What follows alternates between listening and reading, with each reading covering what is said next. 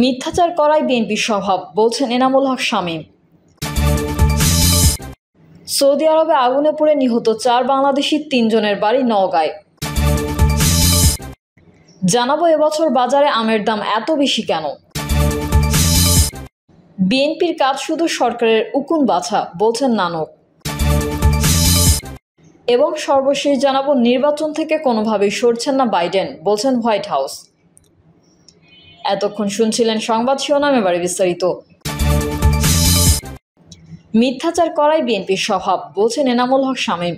মিথ্যাচার করাই বিএনপির স্বভাব বলে মন্তব্য করেছেন শরীয়তপুর দুই আসনের সংসদ সদস্য ও সাবেক পানি সম্পদ উপমন্ত্রী A K M Enamul Haque Shamim.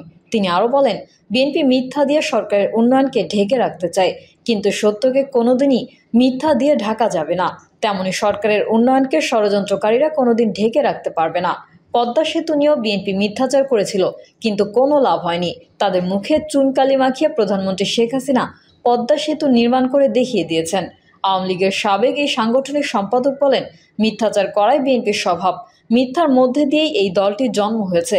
এজন্যই আজ তাদের রাজনীতির করুণ অবস্থা। বারবার জনগণ মুখ ফিরিয়ে নিয়েছে। সৌদি আরবে আগুনে পুড়ে নিহত চার। বাংলাদেশি তিনজনের বাড়ি নওগাঁয়। সৌদি আরবের রিয়াদের মুসা সানাইয়া এলাকায় একটি সোফা তৈরির কারখানায় আগুনে পুড়ে চার বাংলাদেশি যুবক নিহত হয়েছেন। এর মধ্যে তিনজনের বাড়ি নওগাঁর আত্রাই উপজেলায়। গতকাল বুধবার সৌদি আরবের স্থানীয় সময় বিকেল পাঁচটার দিকে এই ঘটনা ঘটে বলে জানিয়েছেন নিহতের স্বজনরা। নিহতরা হলেন উপজেলার তেজনন্দী গ্রামের মুজিবুর রহমানের ছেলে ফারুক হোসেন, শিকারপুর গ্রামের শাহাদ আলীর ছেলে এনামুল হোসেন ও দীঘা স্কুলপাড়া গ্রামের কবেজ আলীর ছেলে সুকবর রহমান। পরিবারের সদস্যরা মৃত্যুর খবর পাওয়ার পর থেকেই শোকের মাতম চলছে তাদের বাড়িতে। গ্রামবাসী, আত্মীয় স্বজন ও শুভাকাঙ্ক্ষীরা ভিড় জমিয়েছেন নিহতদের বাড়িতে। গ্রাম জুড়েই যেন কান্না আর শোকের রোল পড়ে গেছে। নিহত ফারুকের স্ত্রী ও দুই সন্তানকে যেন কেউ থামাতেই পারছেন না, বারবার কান্নায় ভেঙে পড়ছেন। ফারুকের ভাতিজা পিন্টু আলী জানান, ছয় বছর আগে ধার দেনা করে সৌদি আরবে পাড়ি জমিয়েছিলেন চাচা, কিন্তু যাওয়ার পর থেকেই সেখানে নানা সমস্যার মুখে পড়েন। আট মাস আগে স্থায়ীভাবে সোফা তৈরির কারখানার কাজে যোগদান করেন। এরই মধ্যে বুধবার রাত দশটা নাগাদ মোবাইলে ফোনে জানতে পারি কারখানার আগুনে চাচা মারা গেছেন। তার পরিবারের ভবিষ্যৎ এখন অন্ধকারের মুখে পড়ে গেল। দীঘা গ্রামের নিহত সুকবর আলীর জামাই বিদ্যুৎ হোসেন বলেন, শ্বশুর কৃষি শ্রমিক ছিলেন। আড়াই বছর আগে একমাত্র সম্বল এগারো শতক জায়গা বিক্রি করে তার সঙ্গে ধার দেনার টাকায় সৌদি আরবে যান। এখন পর্যন্ত ধার দেনার টাকা শোধ করতে পারেনি। তার দুই ছিল এক মেয়ে। ছেলেদের মধ্যে বড় ছেলে শামীম হোসেন প্রতিবন্ধী। মাথা গোজার একমাত্র বাড়ির তিন শতক জায়গা ছাড়া আর কোনো জমি নেই। কীভাবে পরিবার চলবে তা নিয়ে বিপাকে পড়েছেন। শ্বশুর সুকবর আলী ছিলেন পরিবারের একমাত্র উপার্জনক্ষম ব্যক্তি। এই খাত সংশ্লিষ্টরা বলছেন, অতিরিক্ত রোদের কারণে আমের মুকুল ঝরে পড়েছে, আম ফেটে গেছে। বিএনপির কাজ শুধু সরকারের উকুন বাছা, বলছেন নানক। বস্ত্র ও পাট মন্ত্রী জাহাঙ্গীর কবির নানক বলেছেন বিএনপি দেশের ভেতরে ষড়যন্ত্র করে বাংলাদেশকে ধ্বংস করতে চায়, এদের কোনো লজ্জা নেই। এদের কাজ শুধু উন্নয়নের উকুন বাছা। বিএনপি দেশের টাকা বিদেশে পাচার করে। জাহাঙ্গীর কবির নানক বলেন, সিলেট সুনামগঞ্জে যখন ভয়াবহ বন্যা পরিস্থিতি সৃষ্টি হয়, তখন প্রধানমন্ত্রী শেখ হাসিনা আমাদের নির্দেশ দিয়েছেন বন্যাত্ম মানুষের পাশে দাঁড়ানোর। আজকে আমরা বন্যায় ক্ষতিগ্রস্ত মানুষের খাদ্য সহায়তা দেওয়ার জন্য এসেছি। তিনি আরও বলেন, হাওরের উপর যখন দুর্যোগ নেমে আসে, তখন প্রধানমন্ত্রী শেখ হাসিনা শান্ত থাকতে পারেন না। হাওরের গ্রামের মানুষদের প্রতি তার আলাদা একটা ভালোবাসা আছে। তাই আপনারা আস্থা রাখুন, বিশ্বাস রাখুন, আওয়ামী লীগ আপনাদের পাশে আছে। নির্বাচন থেকে কোনোভাবেই সরছেন না বাইডেন, বলছেন হোয়াইট হাউস। প্রথম দফা বিতর্কে নিজের প্রধান প্রতিদ্বন্দ্বী ও পূর্বসই প্রেসিডেন্ট ডোনাল্ড ট্রাম্পের কাছে হতাশাজনকভাবে পরাজিত হলেও আসন্ন নির্বাচনে প্রার্থী হিসেবে প্রতিদ্বন্দ্বিতার সিদ্ধান্তে অনড় রয়েছেন যুক্তরাষ্ট্রের বর্তমান প্রেসিডেন্ট জো বাইডেন। যুক্তরাষ্ট্রের প্রেসিডেন্টের বাসভবন হোয়াইট হাউস এবং বাইডেন প্রশাসনের একাধিক কর্মকর্তা এএফপিকে নিশ্চিত করেছেন এই তথ্য। আগামী নভেম্বরে যুক্তরাষ্ট্রের প্রেসিডেন্ট নির্বাচন হবে। সেই নির্বাচনে ক্ষমতাসীন ডেমোক্রেটিক পার্টির প্রার্থী হিসেবে জো বাইডেন প্রতিদ্বন্দ্বিতা করবেন তার পূর্বসূরি এবং বিরোধী দল রিপাবলিকান পার্টির প্রার্থী ডোনাল্ড ট্রাম্পের সঙ্গে। গত আঠাইশে জুন সিএনএন এর আয়োজনে প্রথমবারের মতো নির্বাচনী বিতর্কে অংশ নেন ট্রাম্প এবং বাইডেন। এবং সেই বিতর্কে ট্রাম্পের কাছে রীতিমতো নাস্তানাবোধ হন তিনি। বিতর্কের পর তাৎক্ষণিক এক জরিপে দেখা গেছে, সাতষট্টি শতাংশ মার্কিন ভোটারের সমর্থন রয়েছে ট্রাম্পের পক্ষে। এদিকে ওই বিতর্কের পর থেকেই বাইডেনের প্রার্থিতা প্রত্যাহারের দাবি জোরালো হয়ে উঠেছে। তার নিজের দল ডেমোক্রেটিক পার্টির অনেক সদস্য প্রকাশ্যে না হলেও অপ্রকাশ্যে বলেছেন যে, তারা চাইছেন একাশি বছর বয়সী জো বাইডেন যেন স্বেচ্ছায় প্রার্থিতা প্রত্যাহার করে নেন।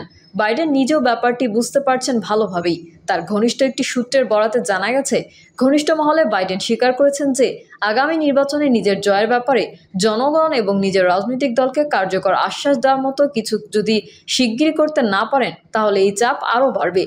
তবে তারপরেও নির্বাচনে প্রার্থিতার প্রশ্নে অনর রয়েছেন বাইডেন। তার প্রেস সচিব ক্যারিন জেন পিয়েরে বৃহস্পতিবার হোয়াইট হাউসের নিয়মিত ব্রিফিংয়ে এই সম্পর্কিত এক প্রশ্নের উত্তরে বলেন, আমাদের প্রেসিডেন্ট তার লক্ষ্যের ব্যাপারে স্পষ্ট এবং এক্ষেত্রে বিচ্যুতি ঘটার কোনো আশঙ্কা নেই। তিনি এই রেসে থাকবেন।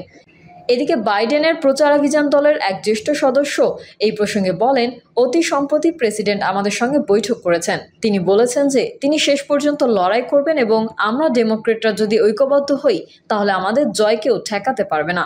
দুই হাজার বিশ সালে যেভাবে আমরা ডোনাল্ড ট্রাম্পকে পরাজিত করেছিলাম, ঠিক সেভাবেই আবারও দুই হাজার চব্বিশ সালেও তাকে আমরা পরাজিত করব। ডেমোক্রেটিক দলের কয়েকজন প্রভাবশালী নেতাও বাইডেনের পক্ষে রয়েছেন। সম্প্রতি সব অঙ্গরাজ্যের গভর্নরদের জরুরি বৈঠকে ডেকেছিলেন জো বাইডেন। সেই বৈঠক শেষে হোয়াইট হাউস থেকে বেরোনোর সময় মেরিল্যান্ডের গভর্নর ওয়েস্টমোর বলেন, তিনি আমাদের সমর্থন চেয়েছেন এবং আমরা প্রতিশ্রুতি দিয়েছি যে তার পাশে আমরা থাকব। ব্যক্তিগতভাবে আমি মনে করি, প্রেসিডেন্ট হিসেবে আগামী পাঁচ বছর দেশকে সেবা করার মতো সব রকম যোগ্যতা তার রয়েছে। মিশিগান অঙ্গরাজ্যের গভর্নর গ্রাচেন হোয়াইটমের ছিলেন সেই বৈঠকে। তিনি বলেন, আমার মতে এই মুহূর্তে যুক্তরাষ্ট্রের প্রেসিডেন্ট পদের জন্য তিনি সবচেয়ে যোগ্য ব্যক্তি এবং আমি তাকে সমর্থন করছি। এবছর বাজারে আমের দাম এত বেশি কেন? চলতি বছরের মে মাসের দ্বিতীয় সপ্তাহে থেকেই ঢাকা সহ সারা দেশের বাজারে নানা জাতের আম উঠলেও আমের দাম নিয়ে বেশ অসন্তোষ লক্ষ্য করা যাচ্ছে ক্রেতাদের মাঝে।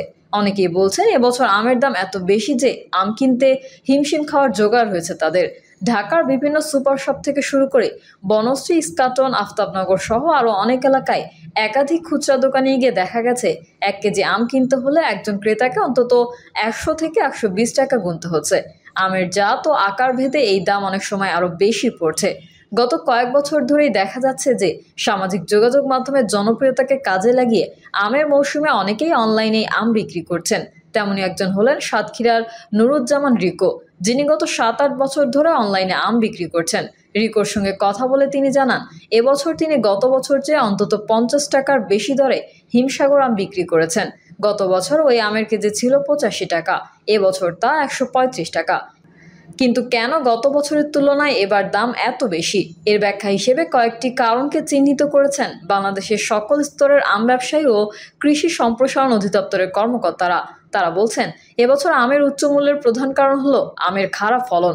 তবে আমের ফলন কম বা খারাপ হওয়ার পেছনে আবার সুনির্দিষ্ট কিছু কারণ আছে। কৃষি সম্প্রসারণ অধিদপ্তর থেকে প্রাপ্ত তথ্য অনুযায়ী গত বছর দুই লক্ষ হেক্টরের চেয়ে কিছুটা বেশি জমিতে শুধুমাত্র বাণিজ্যিকভাবেই মোট সাড়ে সাতাশ লক্ষ মেট্রিক টন আম উৎপাদন হয়েছিল। কিন্তু এবার আমের ফলন কম হবে। তবে কত কম হবে সেটা আরও পরে বোঝা যাবে বলে জানিয়েছেন কৃষি সম্প্রসারণ অধিদপ্তরের মহাপরিচালক বাদল চন্দ্র বিশ্বাস। তিনি জানান, এবছর সারা দেশে সব মিলিয়ে পঁচিশ থেকে সাতাইশ লাখ মেট্রিক টন আম উৎপাদন হতে পারে।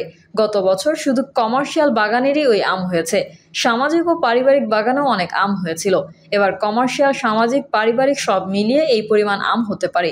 কৃষক থেকে শুরু করে কৃষি অধিদপ্তর সবার বক্তব্য অনুযায়ী এবছর আমের ফলন কম হওয়ার পেছনে মূল কারণটি ছিল অফ ইয়ার। মূলত যে বছর আমের উৎপাদন ভালো হয়, তার ঠিক পরের বছর আমের উৎপাদন তুলনামূলক খারাপ হয়। ভালো হলে সেটিকে অনিয়ার বলে। এই প্রসঙ্গে সাতক্ষীরার আম চাষি আনিসুর রহমানও বলেন, একটা গাছে পরপর দুইবার ভালো ফলন হয় না। গত বছর ভালো ফলন ছিল এবছর খারাপ হয়েছে, পরের বছর আবার ভালো হইবে। আনিসুর রহমানের মোট সাতটি আম বাগান রয়েছে। সেই সব বাগানে এবছর আড়াই থেকে তিন হাজার ক্যারেট হিমসাগর, ল্যাংড়া, গোবিন্দভোগ ও আম্রপালি আম উৎপাদিত হয়েছে। কিন্তু গত বছর তার বাগান থেকে মোট উৎপাদন ছিল চার হাজার ক্যারেট। এছাড়া আমের কম উৎপাদনের আরও দুটি কারণ হলো উচ্চ তাপমাত্রা ও কম বৃষ্টিপাত। প্রিয় দর্শক, এই ছিল এখনকার সর্বশেষ সংবাদ। আপডেট সংবাদ পেতে চ্যানেলটি সাবস্ক্রাইব করে বেল আইকনটি ক্লিক করুন। কমেন্টে আপনার মতামত জানিয়ে আমাদের সাথেই থাকুন। ধন্যবাদ সবাইকে। আল্লাহ হাফেজ।